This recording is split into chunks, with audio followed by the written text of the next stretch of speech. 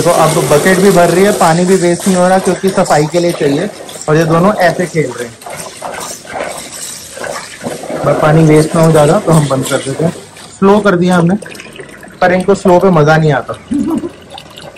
ये देखो, पानी पी रहे हैं अपना। दोनों के दोनों एसी वाले रूम में आके बैठ गए हैं, ये देखो, इसकी हालत देखो। और ये रहा बब्जी, है ना? और उधर चल रहा हमारा एसी हाँ भाई, बहुत ज़्यादा थक गए हो? ये थोड़ा सा गीला होके आई है और ये बहुत रिलैक्स पोजीशन में है, ये देखो। है ना? और मैं इसको कोई हाथ वाथ नहीं लगाऊँगा। इंजॉय कर दो अपना मूवमेंट अभी मैं क्या करूँगा? ये देखो, ये बैठ गया अपना इधर, और ये बैठ गई लेडी वाली। तो अब ये शाम को छह बजे तक इस रूम में रहेंगे।